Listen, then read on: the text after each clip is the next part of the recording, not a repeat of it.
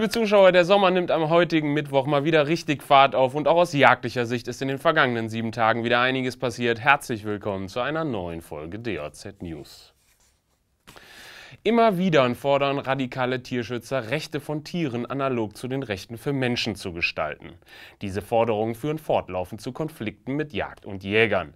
Der Deutsche Jagdverband hat darauf nun reagiert. In einem kurzen Comicfilm veranschaulicht der Jagdverband die Folgen einer derartigen Gesetzeslage.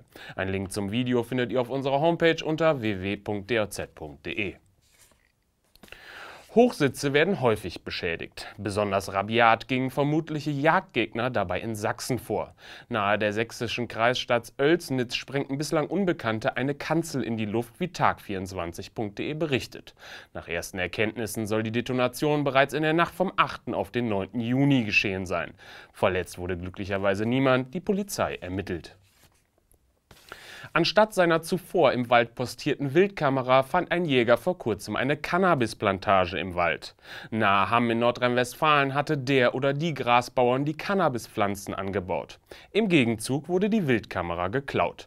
Zeugen, die in diesem Fall Hinweise geben können, melden sich bitte bei den Beamten der Polizeistation in Hamm. Nahe Bonndorf im Süden Baden-Württembergs hielt ein Mann am vergangenen Wochenende Schießübungen mit seinem Luftgewehr ab. Ein Jäger beobachtete dies in seinem Revier und stellte den Mann gemeinsam mit einem befreundeten Jäger. Das Gewehr wurde zur waffenrechtlichen Überprüfung an die zuständige Polizeidienststelle übergeben. Und zum Abschluss noch eine Meldung zu einem kuriosen Einbruch in Marburg. In der Nacht vom vergangenen Freitag auf Samstag stiegen bislang Unbekannte dort in das Haus einer Studentenverbindung ein. Doch nicht Bargeld oder Wertgegenstände standen im Fokus der Langfinger.